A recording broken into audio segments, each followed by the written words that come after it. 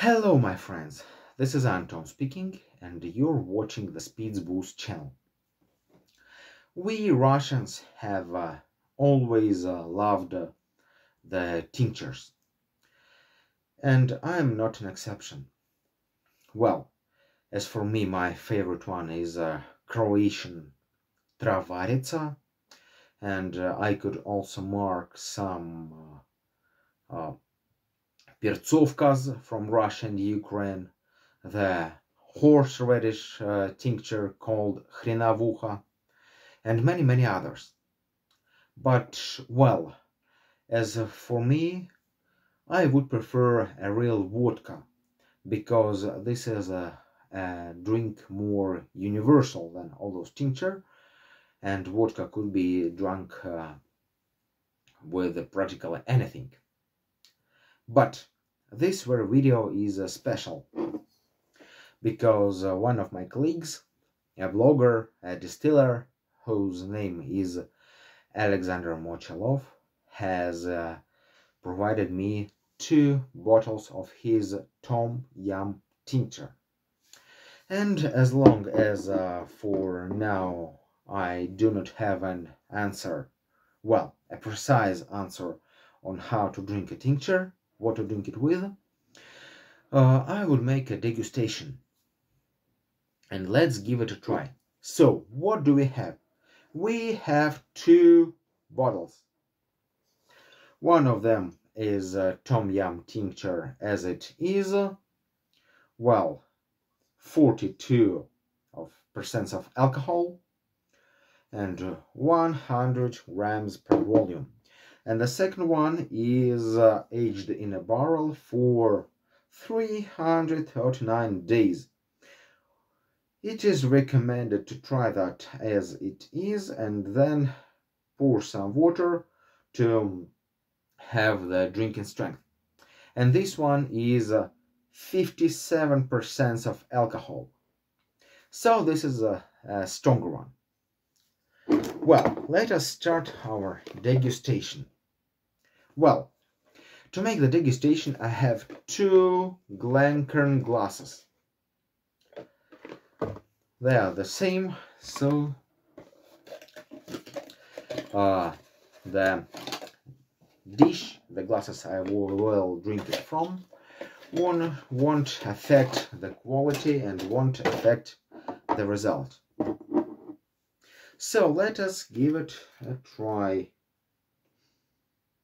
Hmm, the smell is nice. Well, this is a simple one.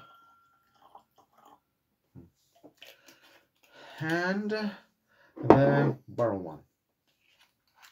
I won't be having any snacks this time because I want to get my pleasure from the drink. Well, as you can see, the difference in the color is quite enormous because, uh, well, one is barreled, one is simple. Hmm. But they smell really different. This one is uh, another herbal spirit drink and this one is much sweeter. Come on, this is really sweet. Yeah, but as long as this is the um, weaker one, let's start with it. But having breathed, I do have some notes of lime. Yeah, lime. And some notes of candy don't really know what, but they're really candy nuts.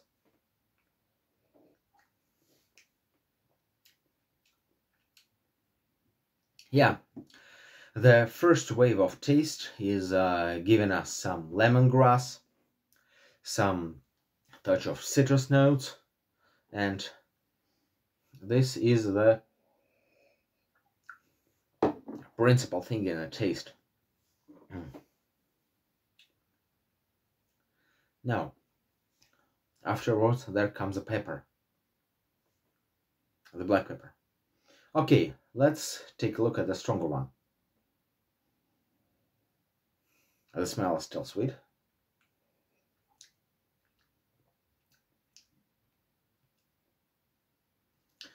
Well, this one is uh, smoother, though stronger one.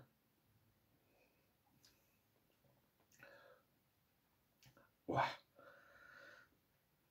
It doesn't have the lemongrass and citrus notes, but the pepper is uh, being felt much more. Okay, another touch. Hmm. Hmm.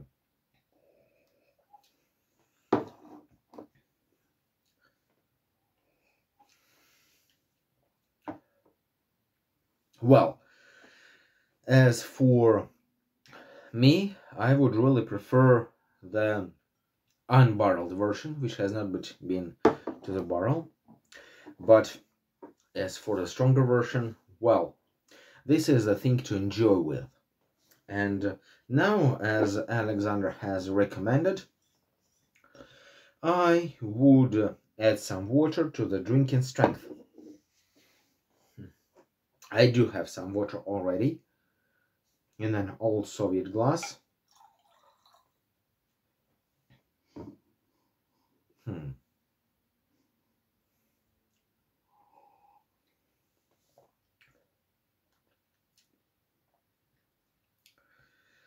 Hmm. Hmm.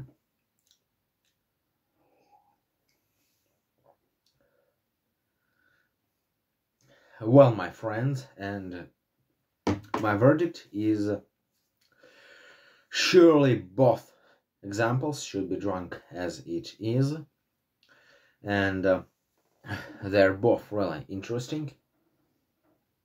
But I would surely go on with uh, the version which has not been to the barrel.